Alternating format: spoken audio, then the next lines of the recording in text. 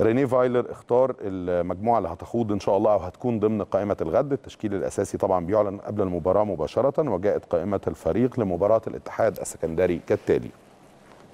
في حراسة المرمى شريف إكرامي محمد الشناوي علي لطفي في الدفاع أيمن أشرف سعد سمير محمود متولي علي معلول محمود وحيد أحمد فتحي ومحمد هاني. وفي خط الوسط حسام عاشور عمرو السولية محمد مجدي قفشة وليد سليمان أحمد الشيخ حسين الشحات جيرالدو وأليو ديانج. وفي الهجوم مروان محسن ووليد أزارو وجونيور أجاي.